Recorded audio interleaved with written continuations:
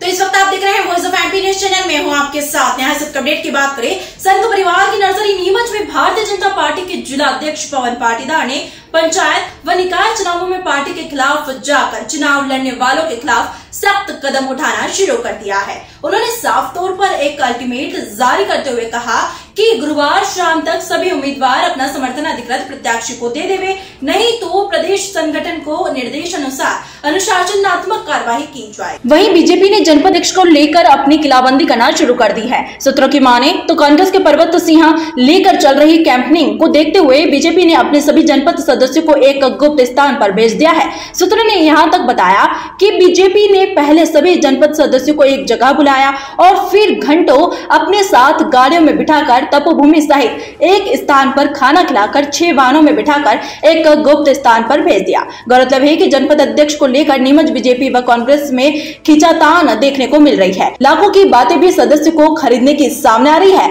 ऐसे में बीजेपी का यह कदम सुरक्षात्मक दिखाई दे रहा है। वहीं जानकारों के माने तो नीमच जनपद से चुनाव को लेकर बीजेपी ने किसी भी अधिकृत प्रत्याशी घोषित नहीं किया था। ऐसे में सभी सदस्यों को लेकर बीजेपी ने अभी से तैयारी करना शुरू कर दी है। क्योंकि बीजेपी अब निकाय चुनावों को लेकर तैयारी कर रही है। वहीं जनपद अध्यक्ष में बीजेपी से शारदा बाई मदनलाल धनगर का नाम सामने आया है। साथ ही कांग्रेस की बात की जाए तो पर्वत सिंह, भानु प्रताप सहित और भी कई नाम सामने आ रहे हैं। ऐसे में बीजेपी ने जो तैयारी की है, उसमें कितनी सफल होती है, ये देखना होगा।